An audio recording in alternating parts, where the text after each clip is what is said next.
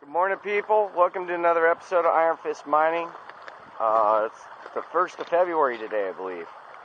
And I'm at the spot, planning on digging up some gold. It's cold this morning.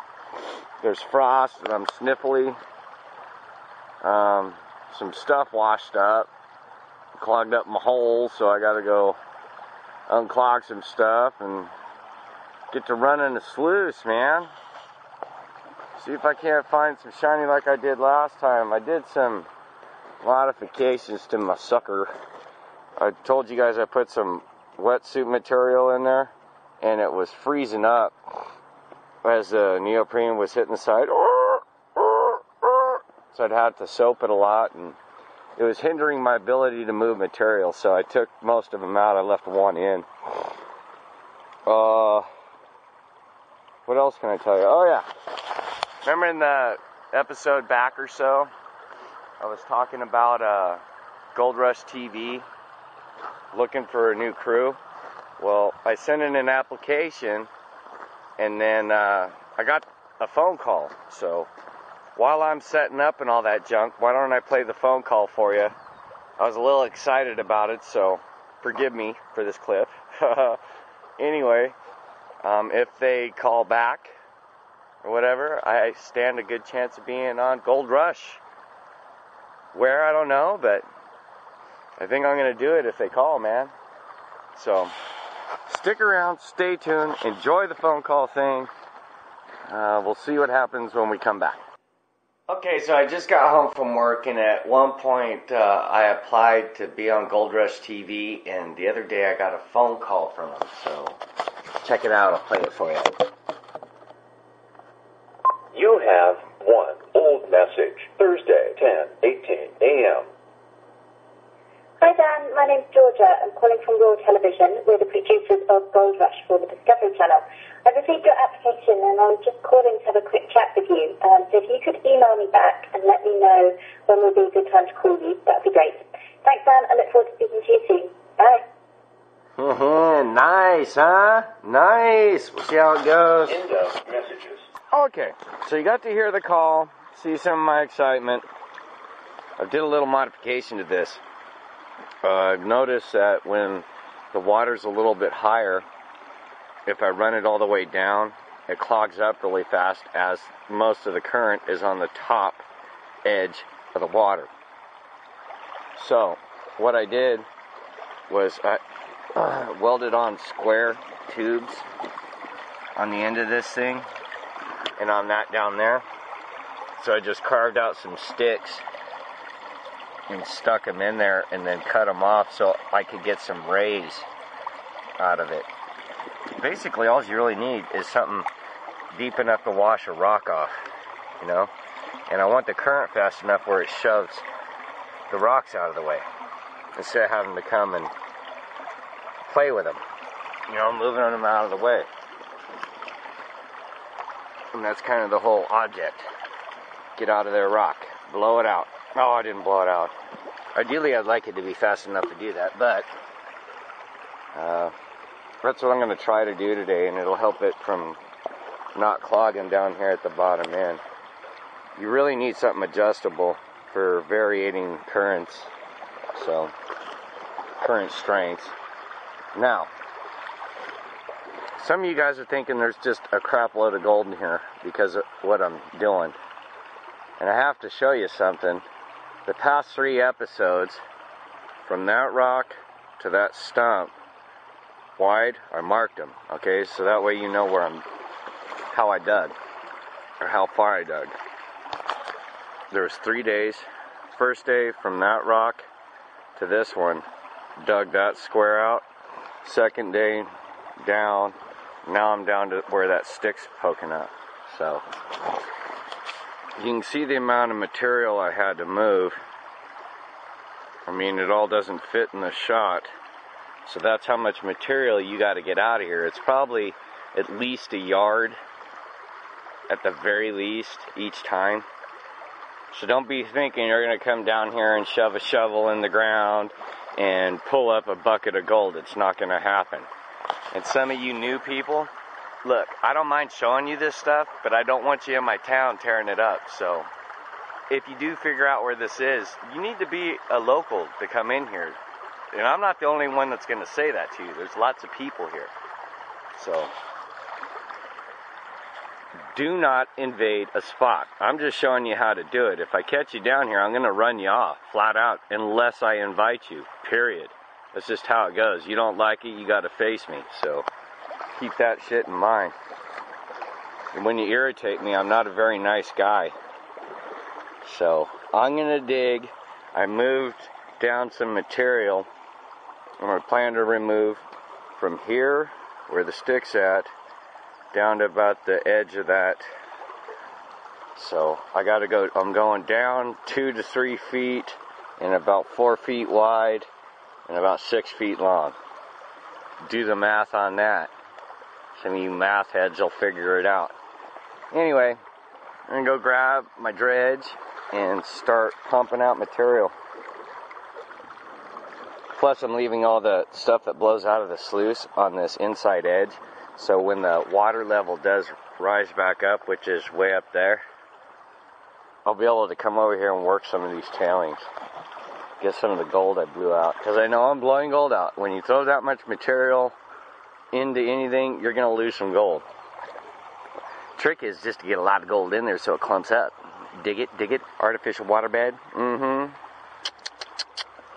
Meant for catching heavies.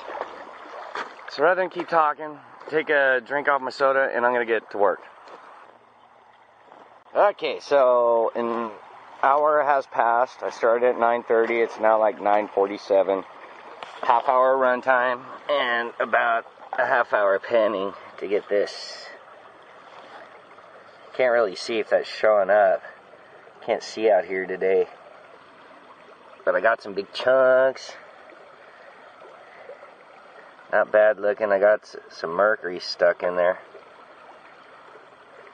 But there's some good gold in that. Not too shabby for 30 minutes worth of digging. Let's see if I can't get some more. The adjustment thing worked pretty good. It kept it flowing. And if it's catching tiny little particles like what's in there, I'm not really sweating it. So I'm to raise up the back end a little bit more and try that, see how it works. Didn't really move that much dirt. I just kind of straightened out the line. So we'll see how it goes. Okay, so it's now one o'clock. Uh, I got a big pile of rocks. What I'm doing is, as I'm dredging this, I throw the rocks out, get them out of the way. And I don't think you realize how deep I'm digging. So I'm to take this here stick. We'll get a dip line about that deep. You guys know how long a shovel is, so. Well, that was shovel.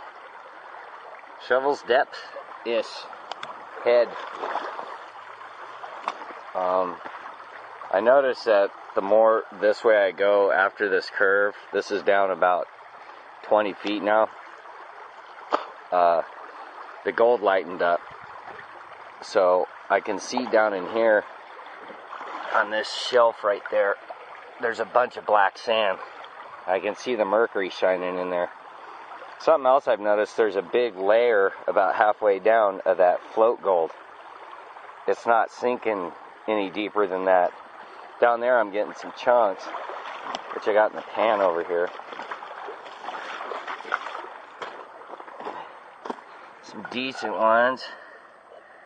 I don't know if that's showing up or not. I was kind of panning around in there so you can see in the pan. Dun, dun, dun. Kind of like that piece right there. It's shaped like a crab claw. A big shiny one. Anyway, it wasn't as much as the first pan. Uh, let me get it all together there. But uh, it's definitely a nice little amount of gold. So, I'm going to put that in the jar. And as you can see, I got my sluice set back up. Um, in this current, though, the stupid ejection plate was flying out, so I had to wrap some the bungee cords that I used to hold it on the bike. So it now sits up right even on the edge, and what I found is the big rocks will just blow right out. Same with all the other crappy material, and all I'm catching is the heavies. And with that kind of gold and this kind of current, it's showing you what it's it's doing. So, instead of digging more that way, I'm going to come back this way. I think the vein went from that corner and is coming towards me. So I'm going to obliterate my walking path here. See what happens. Alright, so I ran a little bit longer, and it was a good thing I changed direction because I found bigger gold. Um, I try to, I'm having trouble getting it out of this remaining mercury, but there is some really nice chunks in there. Try to do the Fred Dodge. Or not Fred Dodge, Fred, Dakota Fred. Do that every time. You see the bigger pieces, huh? Nice up in there.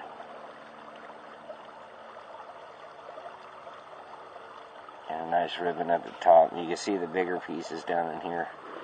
Let me, uh, it at the shaded angle. Gold, gold, gold.